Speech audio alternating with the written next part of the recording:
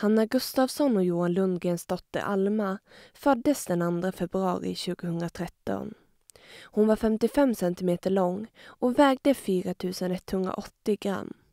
Men hon hade ingen puls.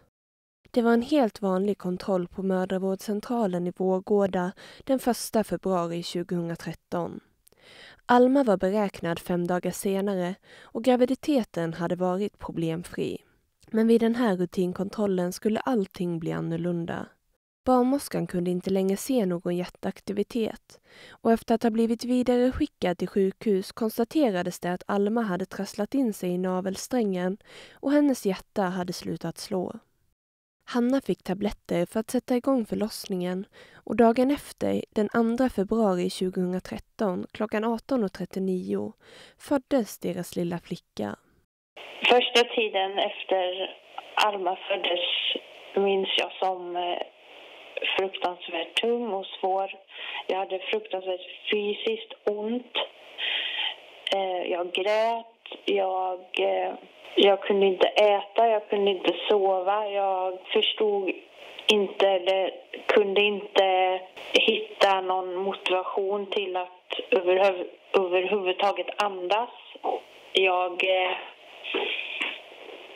det var som om jag dog själv på något sätt. 17 månader efter att Alma föddes fick paret sitt andra barn Gustav och för snart tre månader sedan föddes lillebror Ludvig. Men sorgen och saknaden efter Alma kom alltid att finnas kvar. På hennes födelsedag så är det något som vi har gjort till en tradition. Att eh, fylla ballonger med helium och sen släppa upp dem till himlen. Eh,